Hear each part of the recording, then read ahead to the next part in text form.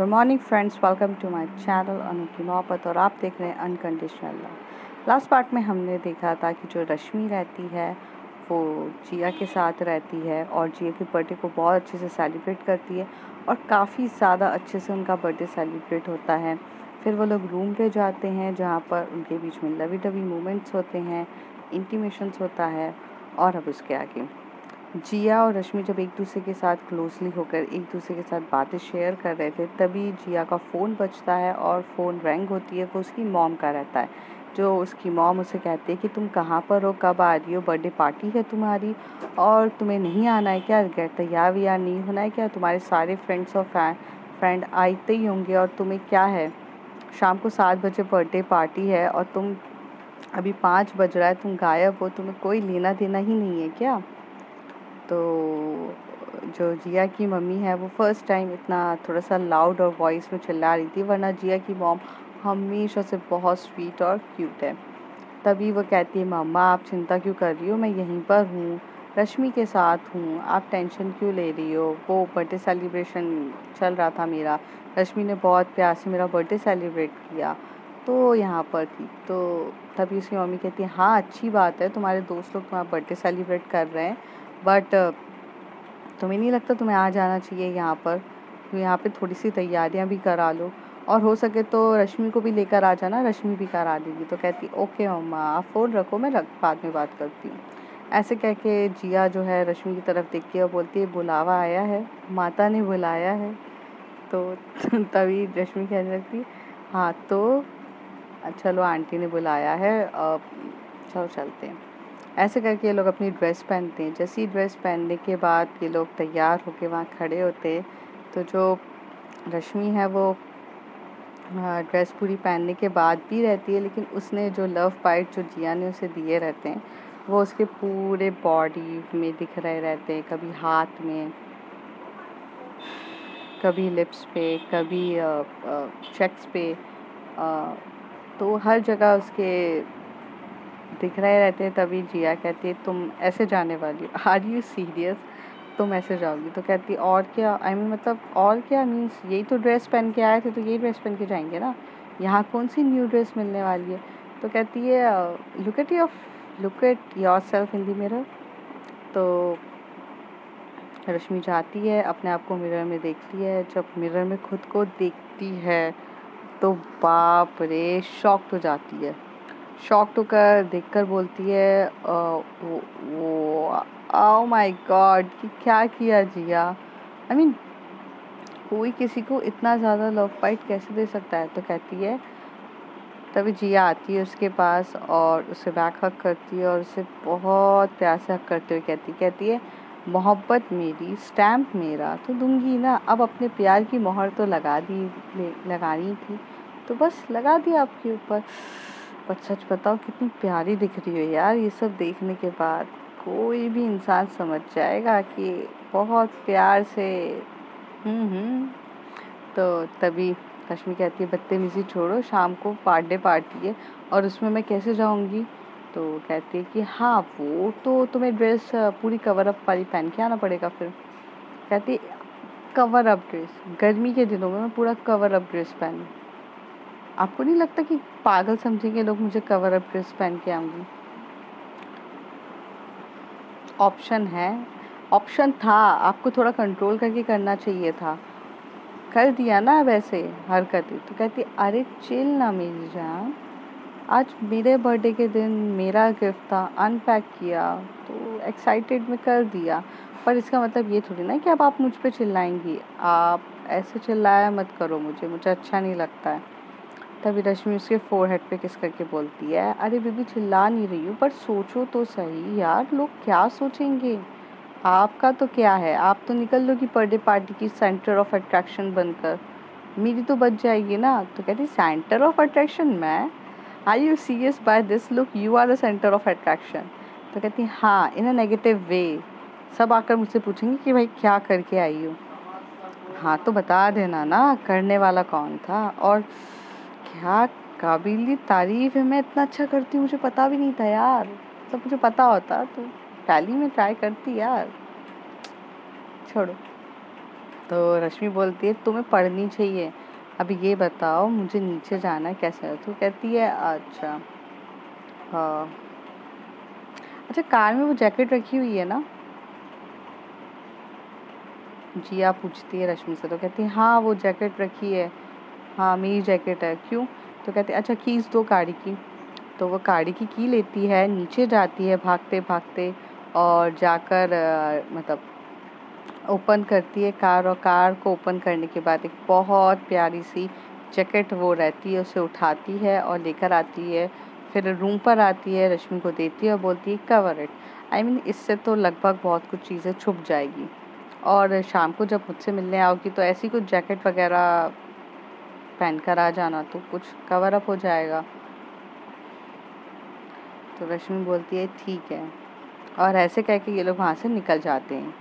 और ये पूरा चले जाते हैं, जो रश्मि रहती है, वो जिया के साथ उसके घर जाती है। पहले तो उसे ड्रॉप करने जा रही रहती है, फिर आंटी उसे बुला लेती है, घर के काम वाम के लिए बर्थडे पार्टी रहती है, रात का सेलिब्रेशन अच्छा ज़्यादा ग्रैंड होने वाला रहता है तो उन सब के लिए बुला लेते हैं। तो रश्मि जो है वो मदद करना स्टार्ट कर देती है जिया के साथ। दूसरी तरफ़ फुटबॉल मैच दूसरी तरफ़ बास्केटबॉल मैच चल रहा रहता है।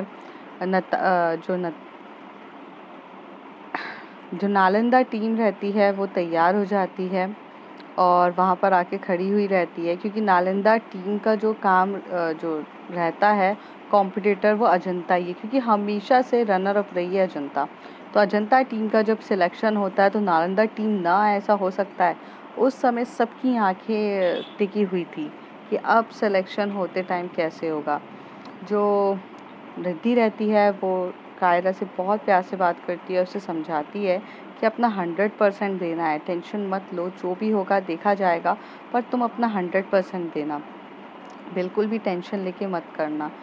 कायरा जो रहती है, वो बहुत ज़्यादा नर्वस होती है क्योंकि अभी तक उसने क्या किया था, जितने भी बार बास्केटबॉल खेली थी, वो तो स्टेडियम के अंदर खेला था और कुछ लिमिटेड लोगों के साथ।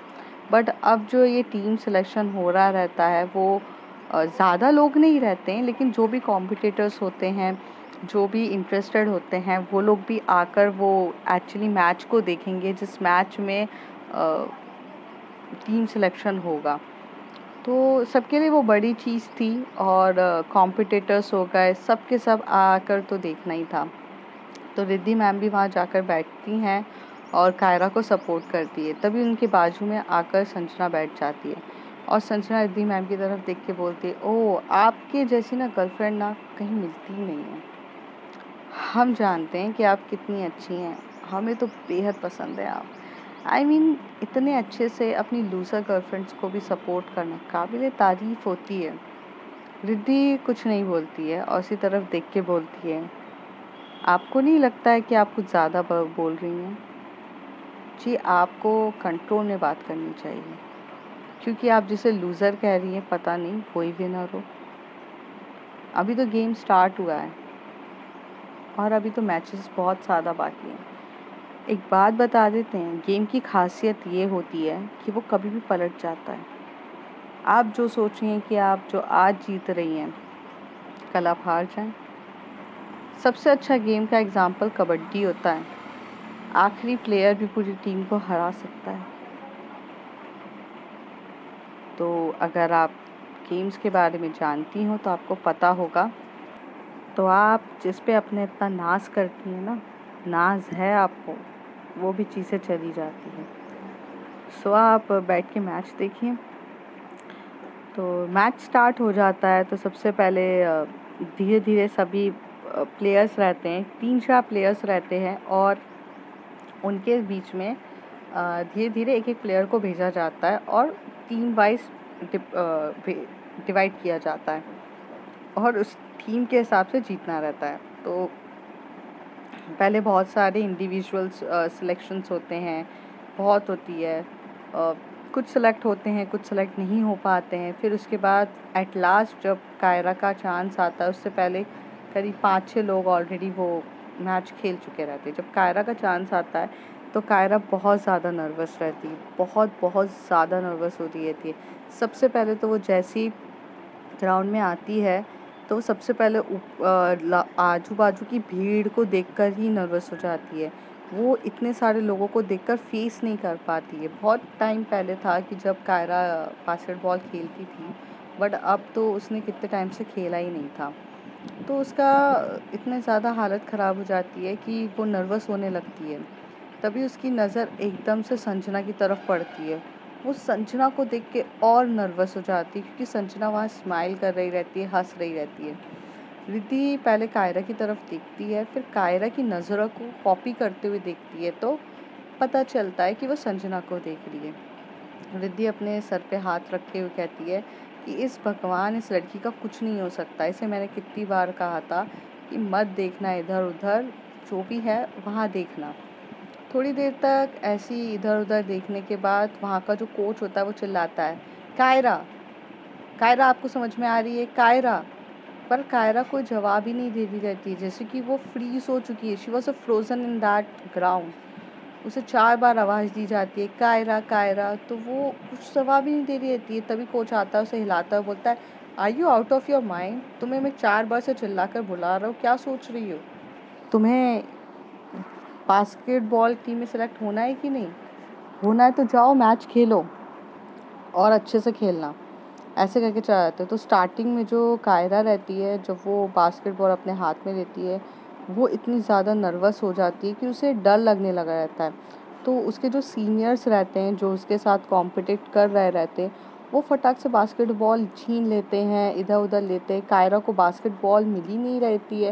वो कितनी कोशिश करती है बट उसे नहीं मिल रही रहती है। और ऐसे करके जो उसकी अपोजिट टीम है, वो एक गोल कर देती है। ऐसे करके कभी दो गोल कर रही है, फिर तीन गोल करती जा रही है। गोल पे गोल हो रहा रहता है और कायरा का ज़ीरो रहता है। अब स्कोर कुछ इस तरीके से रहता है, चार और ज़ीरो कायरा के पास बहुत कम टाइम रहता है। क्योंकि ये एक्चुअल मैच नहीं रहता है, ये क्या बोलते हैं ट्रायल मैच रहता है तो यहाँ पे जो डाइम का जो ड्यूरेशंस होता है, वो कम रहता है। तो वो बहुत ज़्यादा नर्वस हो जाती है, फिर फ़र्स्ट हाफ़ होता है तो फ़र्स्ट हाफ़ में वो पानी पीने के लिए आती है, तभी जो रिद्धि है, वो अपनी सीट से उठ के उसके पास आती है और उसकी तरफ़ देख के उसे बोलती है प्रॉब्लम क्या है? तो कहती है, मैं नर्वस हो गई हूँ, मुझे समझ में नहीं आ रहा है, मैं क्या करूँ? मुझे डर लग रहा है, मुझसे नहीं हो रहा है।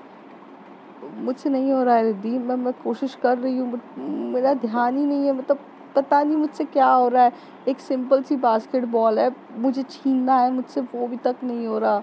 और जब से मैंने संजना को देखा है, वो मेरे पे स्माइल कर रही है, वो सब मेरे मेरे सामने गूंज, घूम रहा है, मुझे कुछ समझ में नहीं आ रहा है।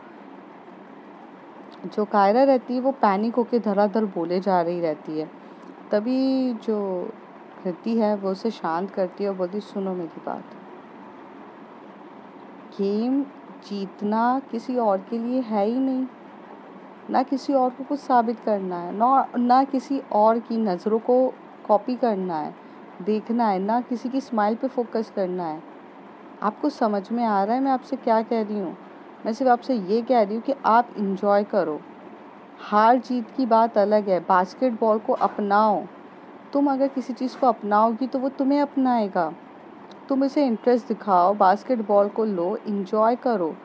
अपने आप स्कोर हो जाएगा। ये टेंशन में लोगी कि सामने वाला क्या सोचेगा, कैसे नहीं सोचेगा, क्या बोलेगा।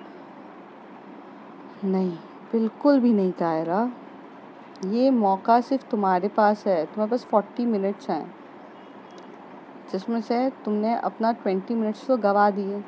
अब ट्वेंटी मिनट्स है तुम्हारे पास, इस ट्वेंटी मिनट्स में इंजॉय करो, हार जीत तब का तब देखेंगे।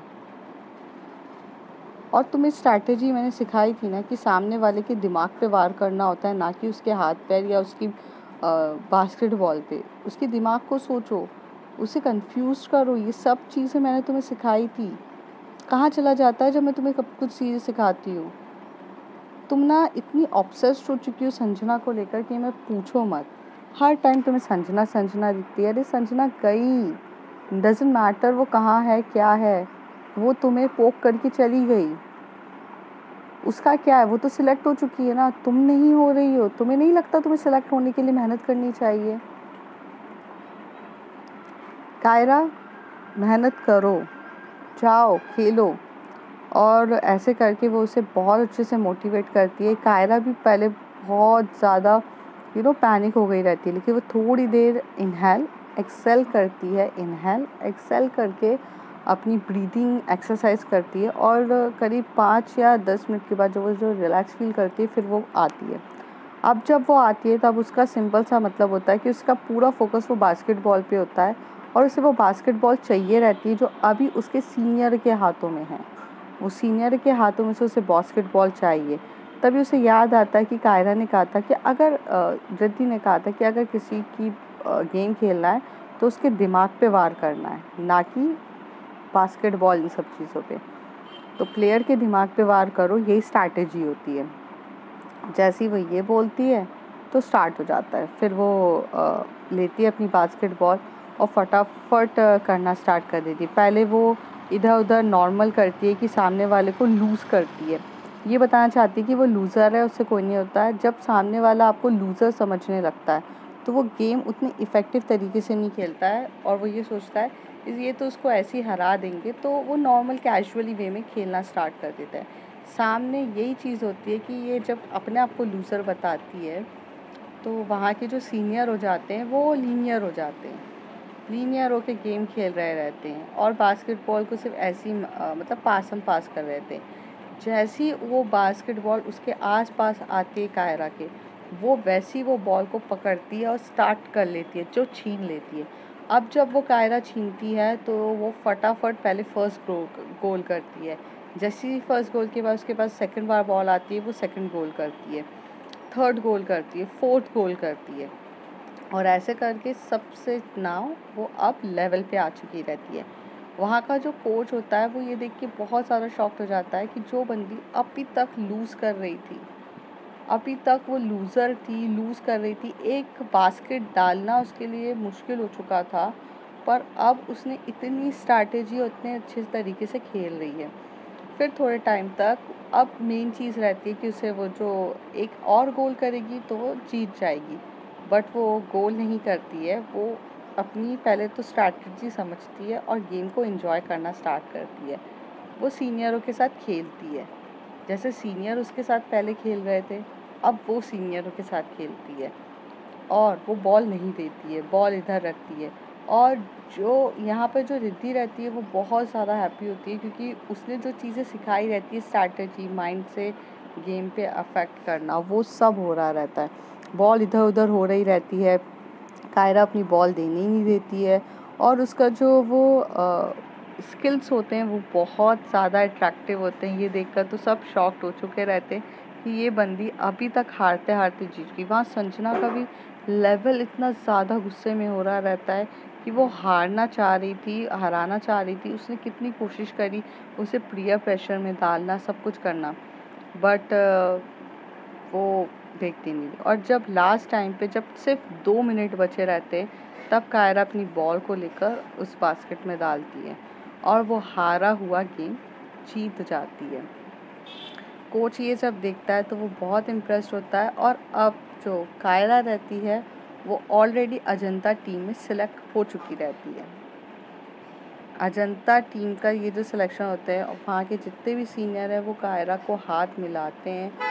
बहुत ज़्यादा हैप्पी होते हैं, उसे हक करते हैं और कहते हैं कि मतलब माइंड ब्लोइंग हो तुम। तुम्हारी जैसी बंदी मैंने आज तक नहीं देखी।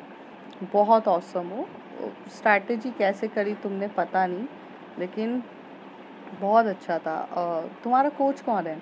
जब उससे कायरा से पूछते तो कायरा चुप रहती है और फिर कहती है मेरी गर्लफ्रेंड ही मेरी कोच है, जो मुझे ये सब सिखाती है। और ऐसे कहकर वो वहाँ से चली जाती है। तभी वहाँ पर जो लड़की रहती है, जो अजंता टीम की, लीडर बोलो, कैप्टन बोलो, जो बोलना है बोलो तो कैप्टन जो रहती है, उसका नाम रहता है मनाली। जो मनाली रहती है, वो इतनी इम्प्रेस्ड होती है उसको, उस गेम से, क्योंकि वो कैप्टन रहती है, उसे चाहिए।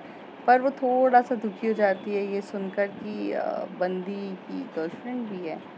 और अब वो उसे कायरा बहुत ज़्यादा पसंद आने लगती है एक इंटरेस्टिंग बोलते ना मिस्ट्री बॉक्स वो लगती है।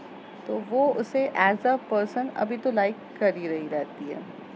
तभी जब रिद्धि के पास कायरा भागते हुए आती है और बहुत टाइटली हक करती है तो वो बोलती है thank you thank you so much I I can't even select on this Ajanta team if you are not support me आपका सपोर्ट, आपकी हर एक चीज़ मुझे इतने अच्छे से ये सेलेक्ट करने में मदद करती है। मैं क्या बोलूँ? मैं तो लगभग हार ही चुकी थी बट आपने मुझे इतने अच्छे से कराया। Thank you thank you so much you are the best person तो कायरा बोलती है कि तभी रिद्धि बोलती है, चलो, बाहर चलते हैं। ये लोग जाते हैं कैंटीन में खाते हैं, क्योंकि कायरा बहुत ज़्यादा थक चुकी रहती है, भूख लग रही रहती है। तभी कायरा को एक मैसेज आता है, वो जिया का रहता है बर्थडे पार्टी में इनविटेशन रहता है। रिद्धि के पास भी वो आता है तो रिद्धि बोलती है बर्थडे पार्टी इनविटेशन का कार्ड है। तो कहती है हाँ जिया ने भेजा है। तो कहती है हाँ चलो चलेंगे शाम को। फिर ऐसे करके ये लोग वहाँ पर चले जाते हैं। दोनों भी बहुत ज़्यादा थक चुके रहते हैं तो अपने घर जाते हैं। कायरा जाकर फ्रेश होती है और अपने डैड को फ़ोन करके सारी बातें बता रही रहती कि dad I got selected in the basketball team उसके पापा भी बहुत ज़्यादा खुश होते पर ये कायरा अपनी मॉम के साथ ये चीज़ें मतलब बताती नहीं है या सेलिब्रेट करना नहीं चाहती है। तभी उसकी मॉम को बहुत ज़्यादा बुरा लगता है कि मैंने ऐसा क्या कर दिया कि मेरी बेटी मुझे इम्पोर्टेंस नहीं देती है। हालाँकि इसका रीज़न था क्योंकि वो जब भी देना चाह रही रहती है तो उसकी मॉम उसको इम्पोर्टेंस समझती नहीं है। इसलिए अब कायरा ने अब बात करना ही छोड़ दिया था। तभी वो अपने डैड से फ़ोन पे बात करते करते कहती है, पापा, आज शाम को मेरी मैडम की बर्थडे पार्टी है तो मैं जाऊँ?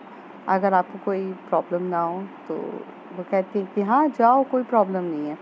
और ऐसे करके फ़ोन कट कर देती है। तो ये बात उसकी मॉम सुन लेती है।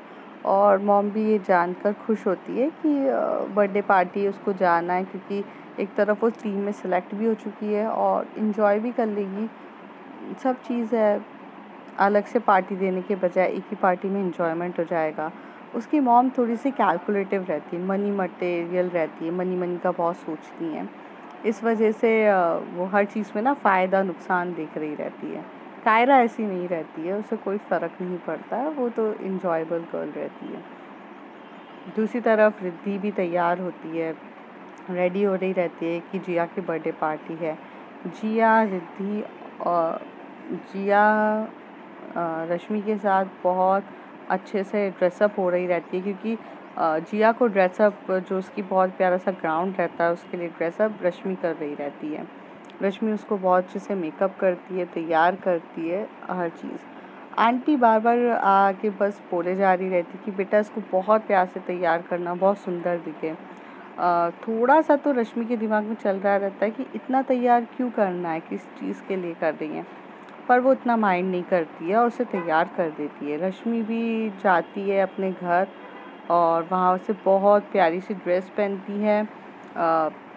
हाँ हालाँकि उसके जो लव बाइट्स है वो बहुत ज़्यादा थे, लेकिन वो ऐसी ड्रेस पहनती है जिसमें से वो अपना लव बाइट भी कवर कर ले। वो एक लॉन्ग मतलब लॉन्ग ग्राउंड टाइप का ड्रेस पहनती है और ऊपर जो एक स्टाइलिश तरीके से स्टोल लेती है, जिसकी वजह से उसके पूरे ये नेक्स के वगैरह जितनी भी कवर होनी चाहिए लव फाइट्स वो हो जाती है।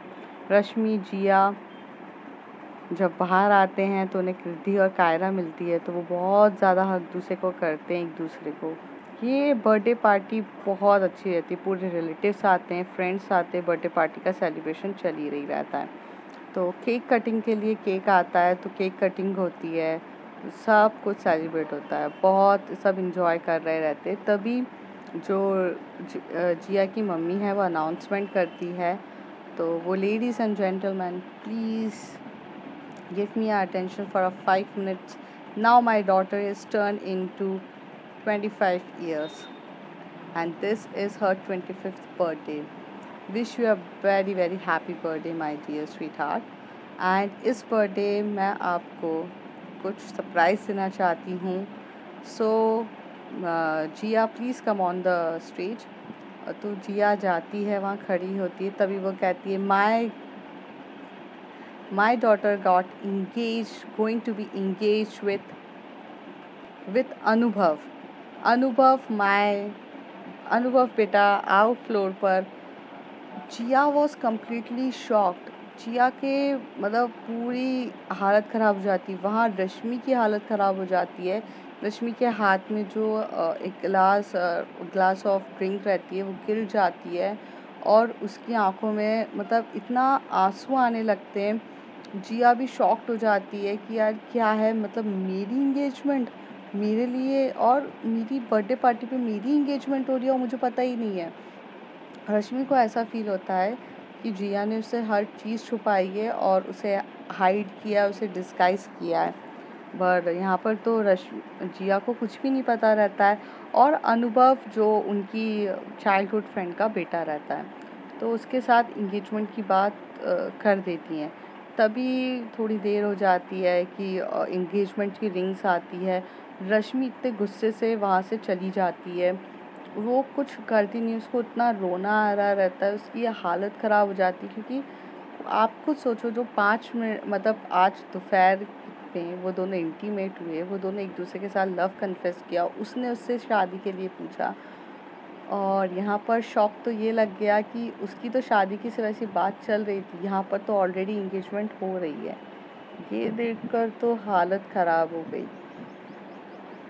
जिया बहुत ज़्यादा कंफ्यूज हो जाती है, उसे समझ में नहीं आ रहा रहता है कि वो क्या करे। और जो इंगेजमेंट ड्रिंक रहती है, जब उसे अनुभव पिनाई रहा रहता है तो उसे एकदम से रश्मि नहीं दिखती है और वो भी इतनी पैनिक हो जाती है तभी वहाँ पर जो जिद्दी रहती है और कायरा रहते हैं, वो खड़े हुए रहते हैं। और वो, जो रिद्धि है, वो रश्मि को संभालने के लिए जा ही रही रहती है। तभी वहाँ से अनाउंसमेंट एकदम से जो माइक लेती है, जिया और जिया चिल्लाकर बोलती है, Rashmi don't go mom let me just clear you one thing Anubhav, तुम मेरे बहुत अच्छे दोस्त हो।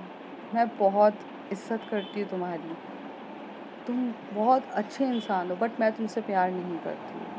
और मॉम डैड आपने मुझसे बिना पूछे मेरी इंगेजमेंट फिक्स कर दी है। ये चीज़ मुझे पसंद नहीं है। मैं किसी और से प्यार करती हूँ और मैं सिर्फ़ उसी से शादी करूँगी। चाहे ये चीज़ आपको बुरी लगे या सही लगे। मैंने सोचा था इस बारे में मैं आपसे खुद डिस्कस करूँगी बट आपने हालात ही इस तरीके से कर दिए कि मुझे आज यहाँ करना पड़ेगा। Rashmi I really love you यार I really really do I can't leave without you और आज जो मैंने तुम्हें प्रॉमिस किया है कि मैं तुमसे शादी करूँगी तो हाँ मैं तुमसे ही शादी करूँगी।